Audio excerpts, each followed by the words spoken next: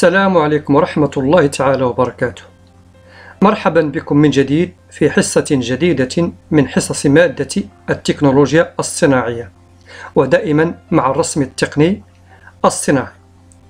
هذه الحصة سأخصصها لتمرين يتعلق بالمنظور الإشرافي، وهو موجه لتلميذات وتلاميذ المستوى الثاني من التعليم الثانوي الإعدادي. إليكم التمرين. أنجز على المقاس أ خمسة وبطريقة المنظور الإشرافي القطعة ذات الرؤية الأمامية الممثلة جانبه. هذه الرؤية. علما أن السلم أ يساوي اثنان على واحد معنى يساوي اثنان.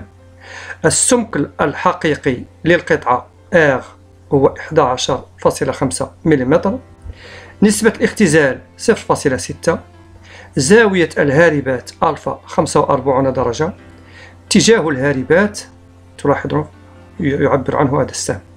وقبل أن نشرع في تمثيل هذه القطعة بطريقة المنظور الإشرافي لا بد من حساب السمك المختزل للسمك الحقيقي للقطعة. لهذا السمك الحقيقي. لأنه كما تعلمون أن أثناء إنجاز القطعة بطريقة المنظور الإشرافي وأثناء تمثيل تلك الأضلاع المائلة أو الحرف المائلة على تلك الخطوط الرقيقة التي تسمى بالهاربات فإننا نحدد عليها السمك المختزل. إذا لنبحث عن السمك المختزل لهذا السمك الحقيقي الحل. لنحسب السمك المختزل سنعبر عنه بأ. نعلم قاعدة المعلومة التي تعرفونها. البعد المختزل يساوي البعد الحقيقي في نسبة الاختزال في السلة. أ هي السمك المختزل أي البعد المختزل يساوي R هو البعد الحقيقي أو السمك الحقيقي في نسبة الاختزال ك في السلة. من خلال هذه العلاقة أو بتطبيق عددي سنجد بأن السمك المختزل يساوي تقريبا 14 ملم لنحتفظ بهذا البعدي أو السمك المختزل سنستعمله لاحقا. بعد ذلك نشرع في ماذا؟ في تمثيل هذه القطعة ذات هذه الرؤية الأمامية بطريقة المنظور الإشرافي ولكن يجب أن ننتبه إلى السلم هو اثنان. معنى أن أبعاد هذه الأضلاع يجب أن تكون مضاعفة يجب أن نضربها في, نضربها في اثنين. مثلا إذا كان لهذا الضلع أربعة مربعات فسيصبح طوله ثمانية. نحن الآن سنمثل الرؤية الأمامية بالسلم اثنان فتصبح على هذا الشكل دائما الأضلاع تضرب كلها في السلم اثنان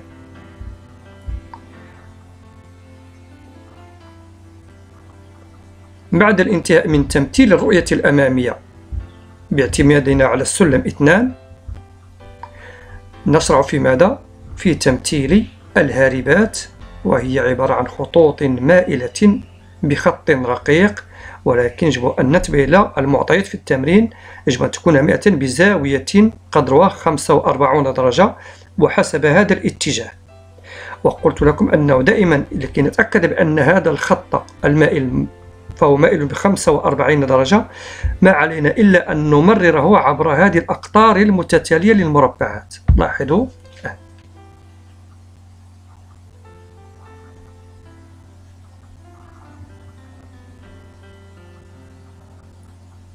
ثم بعد ذلك بعد الانتهاء من تمثيل الهاربات بخط رقيق نأخذ هذا السمك المختزل ونحدده على هذه الهاربات على هذه الخطوط الهاربة لفويونت وكما تعلمون أن قطر المربع في دفتركم يساوي سبعة مليمترات.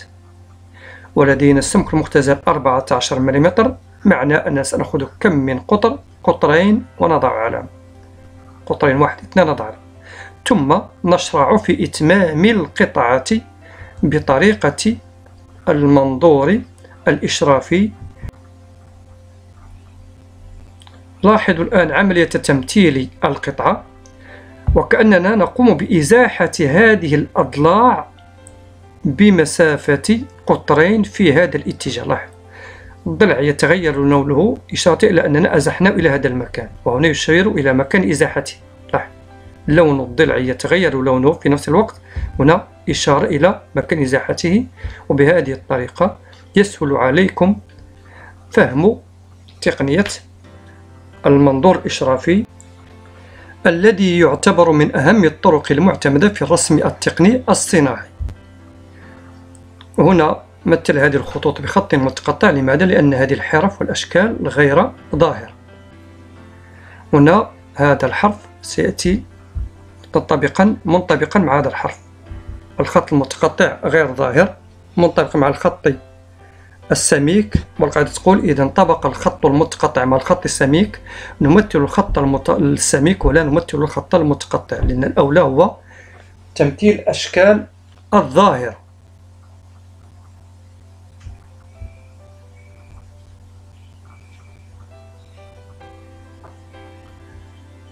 هنا انطبق مع الخط السميك لأنه يمثل هذا الحرف.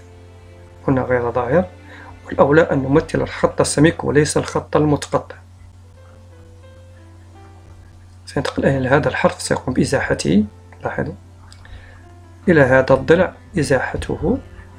استبعد المكان ندخل هذا الضلع. ثم هذا الضلع الأخير سيمثله.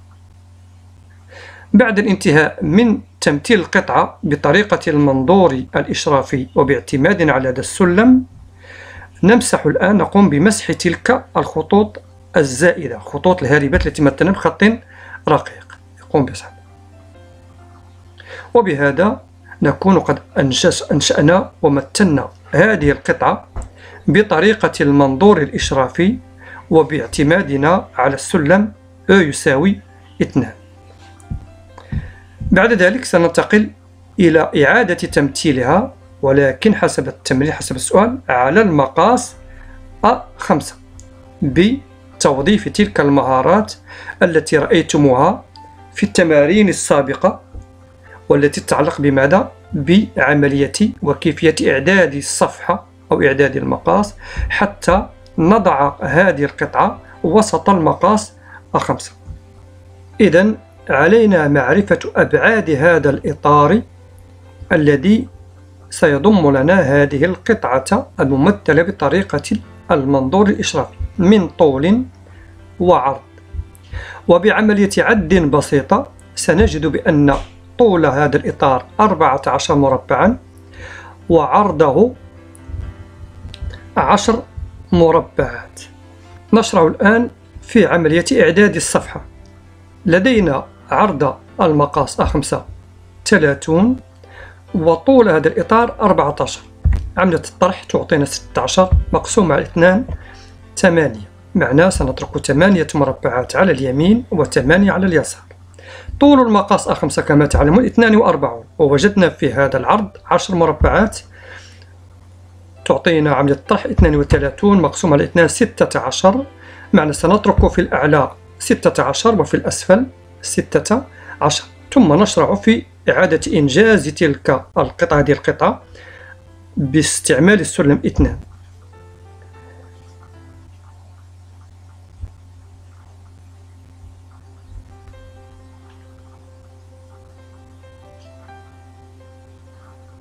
بعد الانتهاء من عملية إنجاز الرؤية الأمامية نرسم الهاربات بخط متصل رقيق.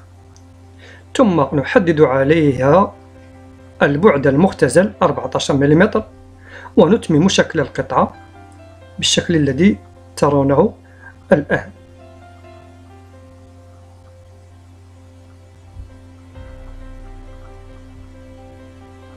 لاحظوا أنه يقوم بإزاحة هذه الأضلاع في هذا الاتجاه بمسافة قطرين. مع الانتباه كل شكل يبدو ظاهر بخط سميك والغير ظاهر بخط متقطع بعد ذلك نقوم بمسح تلك الخطوط الزائدة الهاربات الزائدة. ثم نمسح الإطار المتبقي تلك الخطوط المتبقية. وبهذا نكون قد أنجزنا هذه القطعة بطريقة المنظور الإشرافي وسط المقاس خمسة باعتمادنا وباستعمال تقنية إعداد الصفحة لاميز أون باج ثم يجب أن لا ننسى دائما الأطرة أو الخرطوشة لا وملئها بالمعلومات الضرورية من اسم الرسام؟ تاريخ إنجاز الرسم. رقم لوحة الرسم. الاسم اسم القطعة.